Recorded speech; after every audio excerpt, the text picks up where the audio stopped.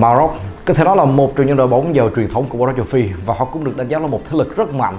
Còn nhớ tại kỳ AFCON gần đây nhất, họ đã dừng bước ở tứ kết khá đáng tiếc sau một cuộc ngược dòng thần kỳ của đội tuyển Ai Cập.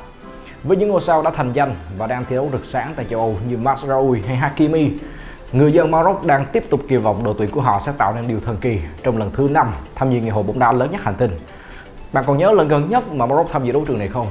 Cùng mới đây thôi, chỉ cách đây có 4 năm, họ cũng là một trong 32 anh tài đã có mặt trên đất Nga.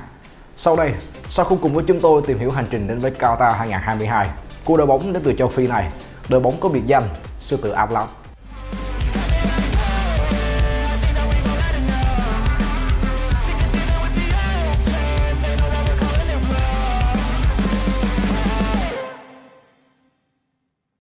Hành trình đến World Cup 2022 FIFA phân bổ cho Liên đoàn bóng đá châu Phi tổng cộng 5 vé để về World Cup.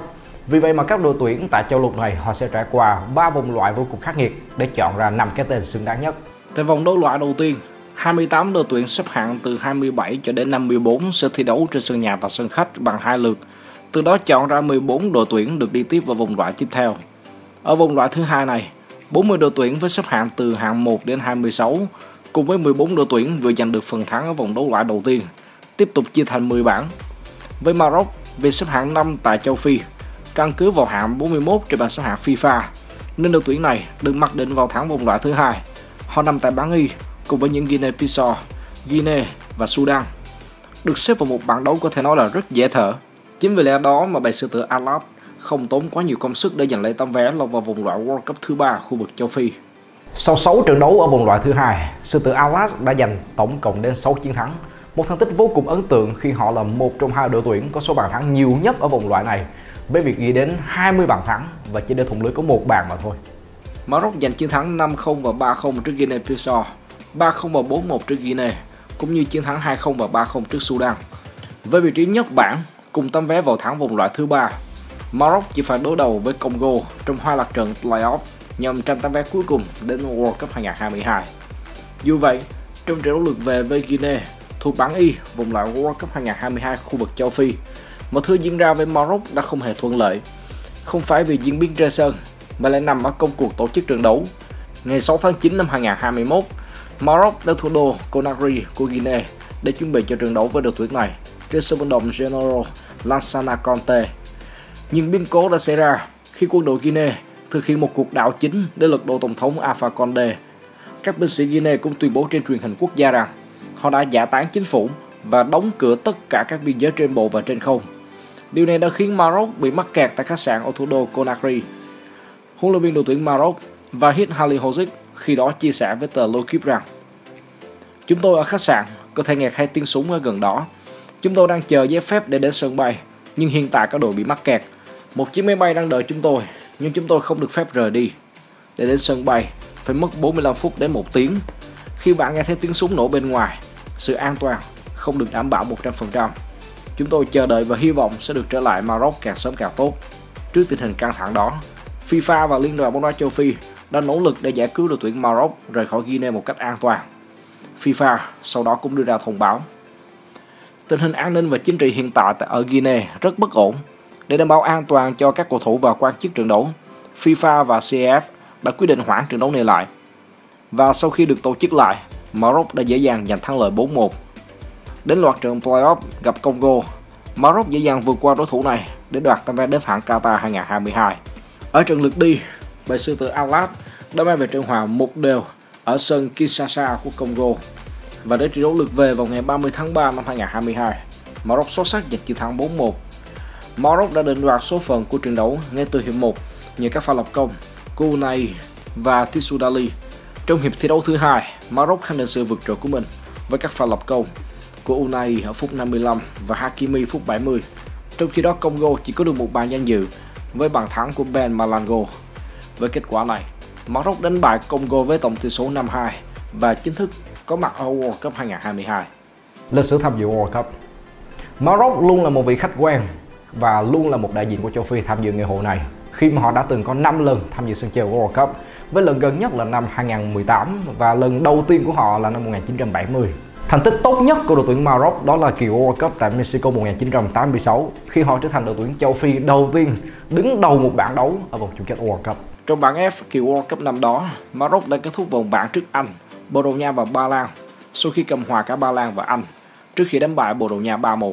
Vì vậy, họ trở thành đội tuyển bóng đá châu Phi đầu tiên và duy nhất đội tuyển bóng đá quốc gia thứ hai ngoài châu Âu và châu Mỹ sau Cộng hòa Dân chủ Nhân dân Triều Tiên tại World Cup 66 lọt vào vòng 2 tại World Cup. Ở vòng đấu loại trực tiếp sau đó, họ thua suýt sao đội tuyển Á quân sau này là Tây Đức với tỷ số 0-1. Tính luôn cả World Cup 2022, Maroc đã có tổng cộng 6 lần góp mặt tại ngày hội bóng đá lớn nhất hành tinh. Ngoài Mexico 1986, Maroc lần lượt tham dự các kỳ World Cup năm 70, 94, 98 và 2018. Ngôi sao của đội trong thời gian từ năm 2002 đến 2014, Maroc không sản sinh ra được bất kỳ ngôi sao nào nổi trội. Vì vậy mà họ đã vắng mặt tại sân chơi này xuyên suốt một khoảng thời gian rất dài. Nhưng với sự nổi lên của những ngôi sao đang thành danh và chơi bóng cực kỳ thành công tại châu Âu vào lúc này, người Maroc đã tự tin hơn khi mà trong hai kỳ World Cup gần nhất, sư tử Alas đều góp mặt. Các tuyển thủ đứng dưới lá cờ Maroc trong diện mạo của những người Maroc, nhưng quá nửa trong số họ thực tế sinh ra tại các nước châu Âu như Pháp, Hà Lan hay Tây Ban Nha. Cựu huấn luyện viên đội tuyển Maroc, ông Evergena từng nói: Trong chiến dịch vòng loại World Cup 2018, tôi có một thủ môn trưởng thành ở Tây Ban Nha, một hậu vệ sinh ra ở Pháp và một tiền vệ chơi bóng ở Hà Lan. Thú thật tôi chưa từng cố gắng tìm hiểu, nhưng tôi nghĩ rằng tất cả thành viên đội tuyển Maroc không ai là người Maroc bản địa 100% cả. The Financial Times đã từng giải đáp điều này. 62% các cầu thủ Maroc dự World Cup 2018 sinh ra ở nước ngoài, biến Maroc trở thành đội tuyển ít chất bản địa nhất từ kỳ World Cup năm đó. Trong nhà cầu thủ Maroc tham dự World Cup 2022, Ashraf Hakimi là cái tên đáng chú ý hơn cả. Ngôi sao của PSG cũng chính là cầu thủ sáng giá nhất đội tuyển này. Bên cạnh đó, Maroc còn có những cái tên đáng chú ý khác như Abdesamad Azazuli, tài năng trẻ của Barcelona vừa được đưa thẳng từ đội hình B lên đội hình dự La Liga sau khi Xavi trở lại dẫn dắt đội chủ sân Spotify Camp Nou. Ngoài ra, họ còn có thủ môn Yassine Bounou và tiền đạo Muni El Haddadi đang chơi cho câu lạc bộ Sevilla. Hay như tân binh sáng giá của Bayern Munich đó là Nusay Mazraoui được đánh giá rất cao nhờ những tố chất phòng ngự, đặc biệt cũng là kỹ năng hỗ trợ tấn công. Tuy nhiên, lực lượng đội tuyển Maroc tại World Cup 2022 có một sự xáo trộn lớn bởi cách đây không lâu. Liên đoàn bóng đá nước này đã sa thải huấn luyện viên trưởng và hit Halilhodzic chỉ 3 tháng trước khi World Cup khởi tranh. Nguyên nhân dẫn đến sự sa thải được cho là xuất phát từ mâu thuẫn lớn với Hakim Ziyech, khi cầu thủ của Chelsea bị loại khỏi AFCON 2022. Walid Regragui được dự đoán sẽ là người kế nhiệm Halilhodzic dẫn dắt đội tuyển Maroc tại kỳ World Cup sắp tới đây. Dự đoán thành tích tại World Cup đây là một kỳ World Cup khó khăn với sự tự Atlas khi mà đại diện của châu Phi sẽ nằm tại bảng F cùng với những đối thủ rất mạnh đó là Bỉ, Croatia và một đại diện cùng khó lường khác đến từ khu vực Bắc Mỹ đó là Canada. Hai đại diện châu Âu đó là mỹ và đương kim Á quân Croatia đã được đánh giá quá cao tại bảng đấu này. Vì vậy, để có thể cạnh tranh một tấm vé đi tiếp vào vòng knockout, Hakimi cùng với các đồng đội của mình sẽ phải nỗ lực hơn 100%. Maroc cùng với Canada lại không được đánh giá cao so với hai cái tên còn lại của bảng đấu.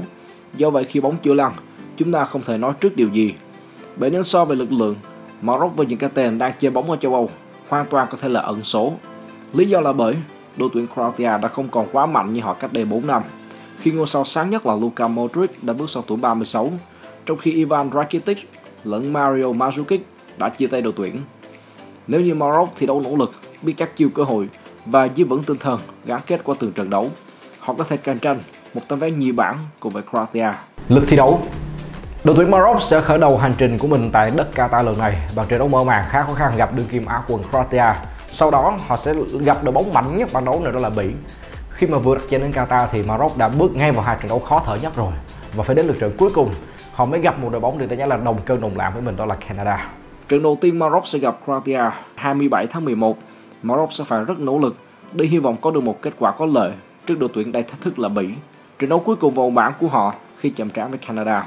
Đây cũng là cơ hội để Maroc tìm kiếm điểm số có lợi nhằm cạnh tranh cho một tấm vé đi tiếp tại bảng F này.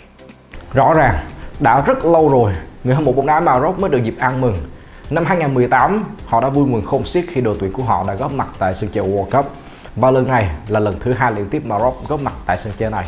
Điều đó cho thấy bóng đá Maroc đã trải qua một chặng hành trình dài với sự đầu tư căng cơ và sự chín mùi của những ngôi sao đang thi đấu ở châu Âu.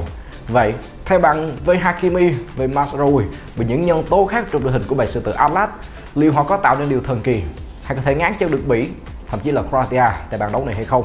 Và liệu có còn cơ hội nào đi tiếp cho đại diện châu Phi tại một bàn đấu vô cùng khó khăn này? Chúng ta vừa nhận lại hành trình đến Qatar 2022 của đội tuyển Maroc. Còn bây giờ, xin chào và hẹn gặp lại trong những số tiếp theo.